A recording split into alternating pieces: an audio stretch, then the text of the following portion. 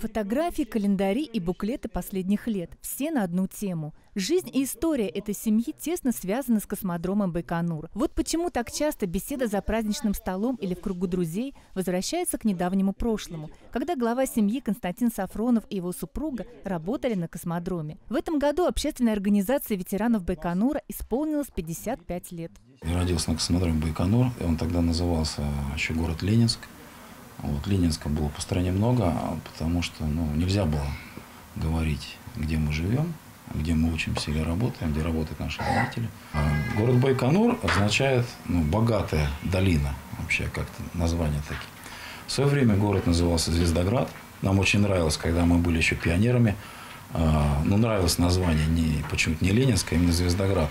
Отец и дед Константина были военными. Когда родители приехали на Байконур, город был еще деревянным. Люди жили в бараках и вагончиках. Со временем появились многоэтажные дома и инфраструктура. Но жить было по-прежнему тяжело. Климат суровый, летом жара, зимой морозы до минус 30, а вокруг пустыня. По профессии Константин энергетик. Вуз окончил в Волгограде, потом служил в армии. После вернулся на Байконур, работал в монтажной организации. Работали по всем космическим стартам, разные работы, электромонтажные были в том числе. А, это Гагаринский старт, это Протон, а, ракета-носитель Протон. Очень работа сложная была, и до позднего вечера. Разные ситуации были, конечно, были печальные ситуации, когда у меня был такой момент, когда как бы, я думал, что я не буду живой.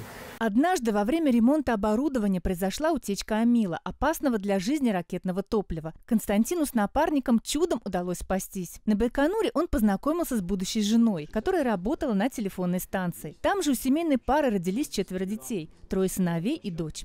Мне на самом деле очень нравилось, потому что, когда я помню свое первое впечатление, когда я увидела ракету, это была зима, и был первый пуск мой, как бы я, который видела. Я пришла на этот старт, мы, мы ходили там, проверяли, ну вот э, телефоны эти секретные связь, там тихо-тихо падал снег, все было в снегу, вот эта белая ракета вся освещена вот со всех сторон, так было красиво, так все. Пятый ребенок родился уже во Владимире, куда семья переехала 4 года назад. И хотя жить в средней полосе России намного легче, Сафроновы до сих пор тоскуют по своим друзьям. Ведь люди на Байконуре особенные. Сейчас время такое, когда ну, людям хочется иметь достаток, прибыток, да, разные удовольствия. Там еще остались те люди, которые строили весь этот город на энтузиазме. Да, в советское время платили хорошие зарплаты. Но люди не мерили вот зарплатами. Когда была нужда, люди оставались сутками работать, без нормальных человеческих условий. Сейчас главное в жизни семьи дети. Старший сын программист живет в Москве, средний студент в ЛГУ, а дочь мечтает стать врачом.